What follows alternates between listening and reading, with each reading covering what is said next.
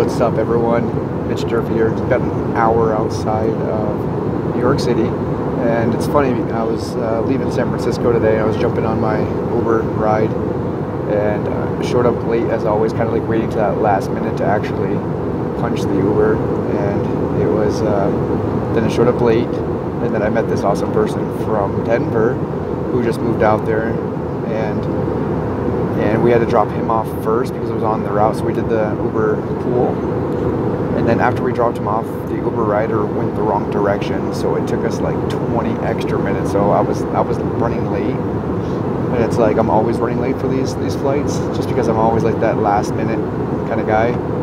Uh, you know, I don't know. I always like to squeeze a little more in, but like while I'm waiting and going the wrong direction, like I just felt like this anxiety inside me, and I'm thinking to myself like what a challenge. Like, like, why am I so stressed right now? It's not that I have like things that I have to get back to, but it's like, you know, when you when you have this plan that you want to get certain things done and those things don't get done a certain way, sometimes it's like, you know, you just you feel like it's, it's a little bit more stress than what you want in your life. It's like unnecessary. And then when we get to the airport, like we actually missed the terminal so we had to go all the way around again, which was like, like you know, even like so like my attention was like up here, thinking to myself like, oh, I'm gonna miss my flight. I'm already late, and then we missed. Then we like missed the terminal, and like I kept repeating to myself like, okay, well, remind yourself like, life doesn't happen to you; it happens for you. So, what's the opportunity here? You know, like whenever you get in these moments where you're like you're stressed, like focus on what's the opportunity.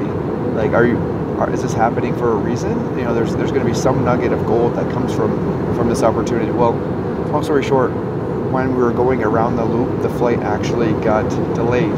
So thank you so much.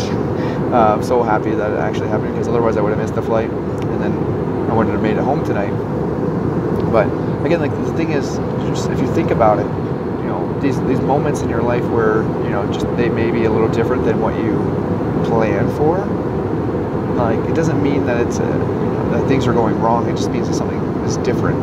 But don't get worked up over things not going your way. Remember that things happen, you know, just to like kind of show you and reflect that that that there there are challenges, but it's not ever that bad. Keep your keep your eye on the big picture, and and everything will be fine.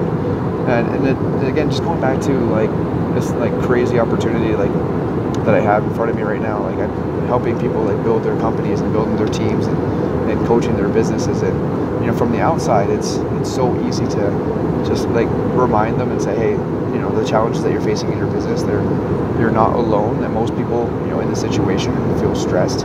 But once you're past that stress point like once you're actually on the plane everything changes and everything gets a lot easier so don't focus on the small picture, focus on the big picture. And remember that life doesn't happen to you, it happens for you.